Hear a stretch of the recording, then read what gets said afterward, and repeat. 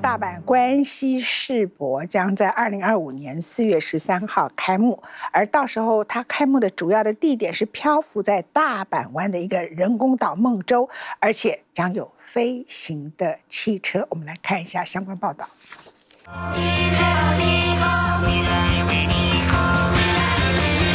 大阪关西世博会即将在二零二五年四月十三号在大阪湾的人工岛梦洲正式登场。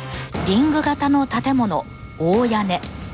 大阪・関西万博の理念多様でありながら一つを表現するシンボルとしてこれまでに全体の3分の1で組み立てが進んでいます。完成すれば1周およそ2キロ。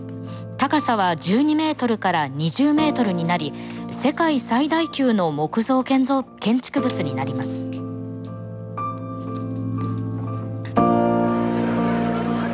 特徴の一つが屋根の下と上を歩けること屋上の歩道からは会場全体や大阪中心部そして瀬戸内海まで眺めることができるということです连功法也是有讲究的。日本の神社仏閣に使われてきた抜き工法という伝統的な建築方法をベースに耐震性や耐久性を強化するため金属のボルトなどで補強する新たな技術が取り入れられています。大屋根の建設予定費は344億円。万博の閉幕後に解体して再利用する方針となっています。長い行列ができたアメリカ館月を回ったアポロ8号は人気の的。ポロ11号が持ち帰った月の石も展示されています。半世纪以前，大阪曾经在一九七零年举办过亚洲首个世界博览会，当时在一百八十三天内吸引超过六千四百万人参加，是同时期人数最多的一届。当年日本凭借着一九六四年的东京奥运与一九七零年的大阪世博，拉动了日本经济成长。日本希望这次能复制当年的成功。二零二五年大阪关西世博目标人数定在大约两千八百万人。虽远不及一九七零年大阪世博的一半，但是预估经济效益仍可达两兆日元。作为对照的是，在二零二一年举办的杜拜世博会，即便在新冠疫情下，也有共计两千四百多万人参加。二零二五年大阪关西世博主办方希望透过向全世界展现未来社会的样貌，呈现一个未来社会的实验场。这一届主打的是飞天汽车。二千二十五年。この年大阪で2度目の万博が開催される。あれ？会場上空になんか飛んでるんですけど。あれは何？あああれ？空飛ぶ車よ。あれにはいい思い出があるのよ。夢島の会場からの帰りに乗るんやけど。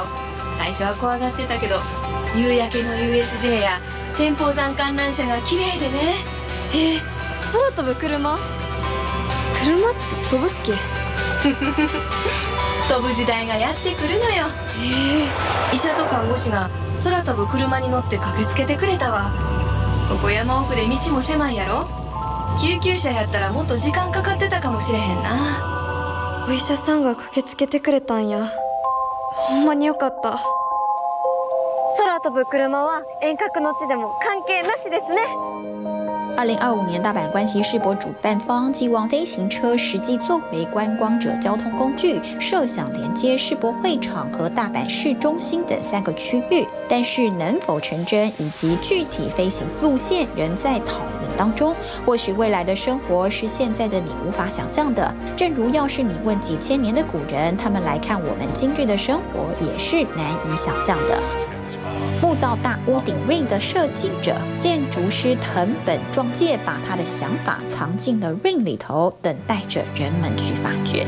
この木造のリングもね、強烈に多分あこういうものができるんだと、だったらこういうのもありなんじゃないのっていうふうに子どもたちが考えて、その先の未来を作ってくれるんじゃないかなっていう期待はありますね。 此刻，就让我们暂且放下世界上的纷纷扰扰，大步向未来走去。谢谢收看今天文倩的世界之宝，文倩的世界之宝欧洲版，我们明天见，拜拜。